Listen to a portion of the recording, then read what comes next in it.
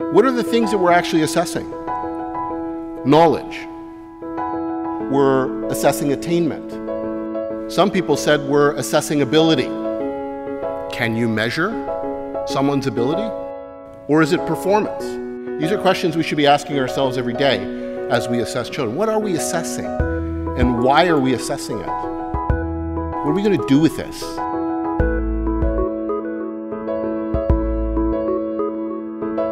Forget the system to some extent and just think about the purpose. And that's what I would say is anything that you're doing regarding assessment, regarding marking, data collection, anything like that, keep in mind the purpose.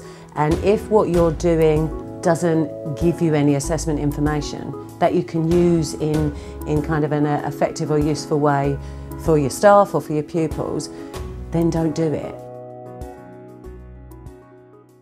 To see how much you've learned, it shows me what I need to improve on. Because it's encouraging. It helps us build up our confidence. To best know how to help them to continue to make progress.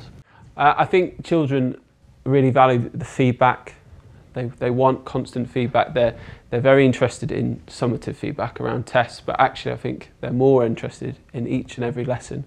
Where am I at with this? Is my understanding uh, where it needs to be? So it's really good for them not to know, just know what they need to work on, but also the things that they're really good at. So giving them that boost and that confidence, self-esteem, but also for them to be able to know what they need to work on to get even better. They can develop self-efficacy because they understand that they have grown, they have evidence that um, they have improved.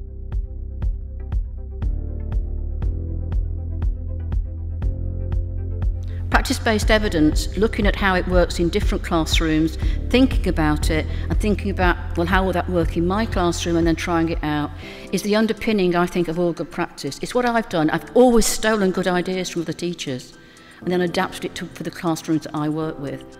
I think, as a teacher, always trust yourself. I think that we forget that really good questioning in the classroom doesn't always come from a teacher.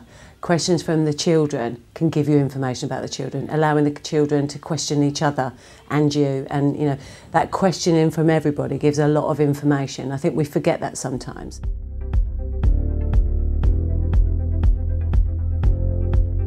There needs to be less statutory assessment I don't think we need to assess them anymore. Maybe more because it prepare us more for the SATs. I, I think we can use formal tests far more than we do. They don't need to be stressful. They can be very dependable. We need to combine that with very sensitive observation of children's attainment done really well by teachers. Evidence can be a whole range of things. What it shouldn't be is endless exercises produced in books for the sake of providing evidence.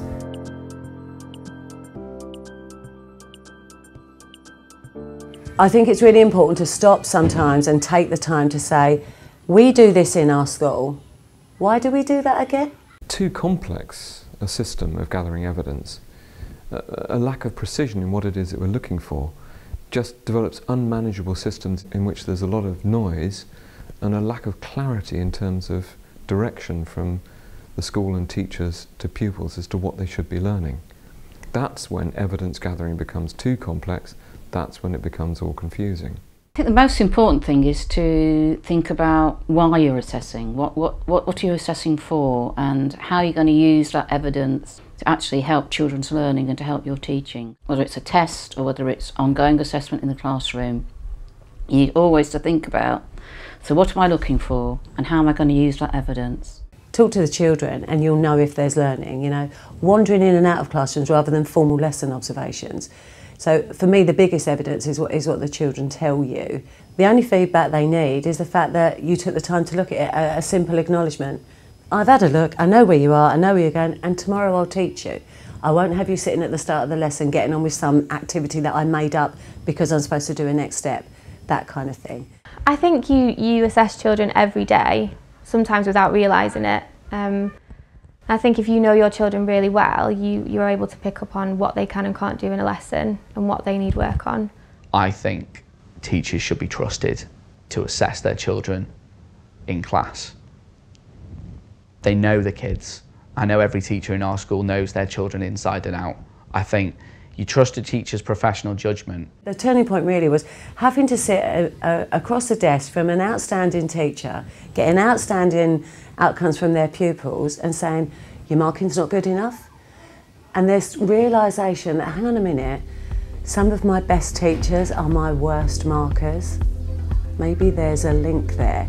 I literally took a chance and said, I'm not going to do it anymore. Stop saying marking and instead start saying daily assessment and I think you'll be on the right tracks.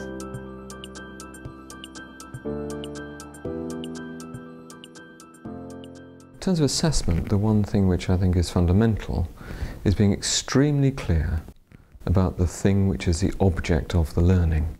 And, and in assessment terms, we call this the construct. What is it that I want a group of children to take away from this learning experience, the really fundamental thing? We're not um, working on a linear sort of uh, way that tr maybe traditionally English schools did, whereby we're, we're, doing one question and moving higher up to the next question and moving to the next question. We're, we're generating a broader depth of understanding. I think lower down the school, they're not as aware they're being assessed.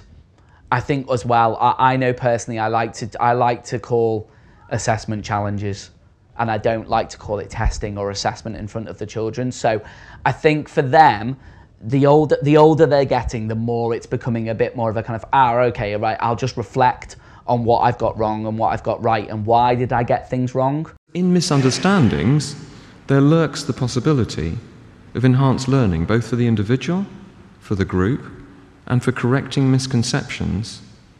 And we know from research that's critical. So by having wide variation in the practice, you can see when kids' understanding breaks down. And that gives us an insight into what they're thinking. This difficult thing of knowing what a child is thinking. As teachers, we need to be assessing so that we can ensure that um, our delivery is meeting the needs of our pupils, that we understand any barriers that pupils may have and that we can spend time considering how we overcome those barriers. You know, they're weird and wonderful creatures, children are, and uh, when you start talking about things, it might actually help them with something they've learned last week, last month, yesterday, that, and that then becomes secure learning, but they haven't quite got the thing you're teaching now. And it's really using assessment to try and continually check where they're at as you're going through so you can make the best bet about where to teach next.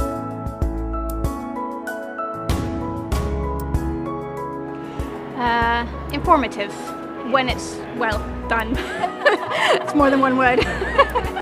Necessary. Can I have a few words? Feedback. Moving them on. Is enhancing their learning. Knowing the children. Progress. Ongoing. it's vital, it's key, it, it leads the teaching and the learning. Enlightening. All those students believe that we do this for them. I think we need to believe that as well. And I think that that needs to be what we do every day. And we need to question. And there's always going to be pressure from your peers, from Ofsted, from the council. That pressure will always be there. But you need to believe that you're doing it for the children.